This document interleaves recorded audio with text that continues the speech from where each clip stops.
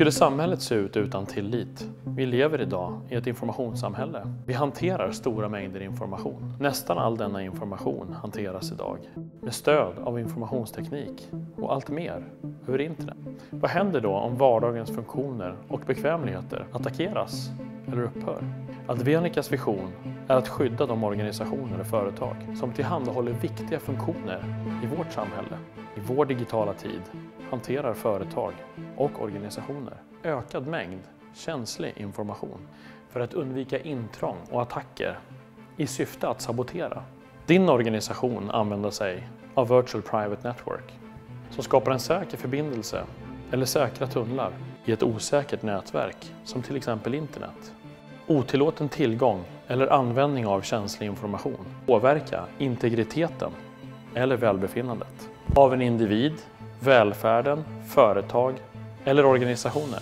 Under mer än 20 års tid har vi utvecklat ledande teknologi för topphemliga organisationer som myndigheter och det svenska försvaret utifrån produkterna och tekniken på denna högsta säkerhetsnivå har vi modifierat våra produkter så att de passar till stora och medelstora organisationer och företag. Våra produkter och lösningar återfinns i mer än 40 länder och är utformade för att säkra din kommunikation, var och när du än kommunicerar.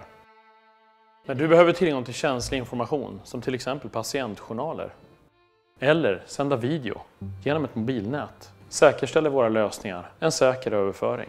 Vår vision är att säkra tilliten och säkerheten i en värld där information är lättillgänglig och global. Informationssäkerhet är en angelägenhet för alla. Vi är idag alla beroende av att viktiga funktioner i vardagen, som vatten el, ska fungera utan problem. Runt om dig, i din vardag, finns det massor med säkerhetsbrister som kan utnyttjas av potentiella angripare. Det gäller att känna till vilka risker som finns och vad man kan göra för att minimera dem. Ligg ett steg före, skydda din information med Advenica.